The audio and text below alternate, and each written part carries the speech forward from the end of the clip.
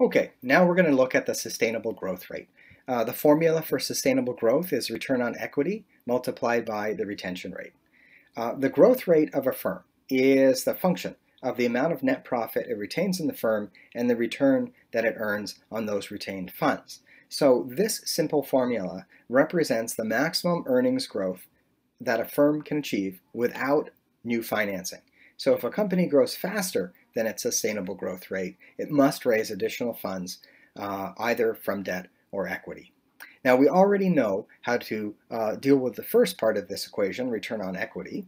Um, that's simply net profit divided by total equity. So we'll uh, turn our attention to the retention rate portion of this equation. Now the formula for retention rate is 1 minus the dividend payout rate. This formula is showing us what proportion of net income the company is retaining in the firm. The retention rate is the complement of the dividend rate, which is the proportion of net income or earnings that is being paid out to shareholders. Um, in general, the earnings should be retained in a company if the rate of return inside a company exceeds what investors could earn outside the company on an investment with the same risk. So, for example, if a company is currently uh, returning, uh, say a return on investment of 20%, and investments of similar risk are outside the company are only returning 5%, we would not expect this company to pay a significant dividend. We would expect them rather to retain the funds inside the company and reinvest them for more 20% returns. Um, and this is why growth companies often pay no dividends, while companies with no growth but steady, dependable earnings, such as utility companies, often pay out a much higher percentage of their earnings as dividends. So retention rates and dividend payout rates tend to be similar within an industry and are largely a reflection of the maturity of the companies in that industry. So let's look at an example of this using Hasbro. Now we need both dividends paid and the net income for the year. While um, net income is generally very easy, we know we can find that on the income statement. Dividends, however, uh, are usually not on the income statement.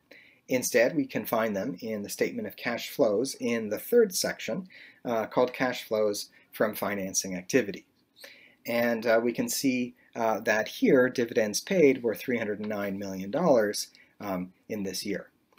And uh, we'll also remember that net earnings is also presented on the cash flow statement, usually as the first item. So really the only statement we need to calculate the retention rate and the dividend payout rate is, um, is the statement of cash flows.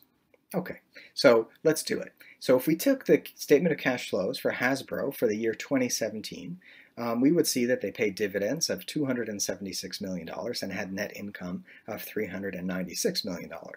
So we plug that into our retention rate formula, which is 1 minus dividends paid divided by net income, and we'd have 1 minus 0.698 or a 0.3 that's a 30% retention rate. What this means is effectively in 2017, Hasbro retained 30% of its net profit inside the company and paid out the other 70% um, uh, to its shareholders.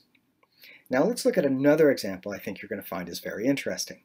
In the next year, Hasbro 2018, they paid um, $309 million in dividends on a net income of $220 million.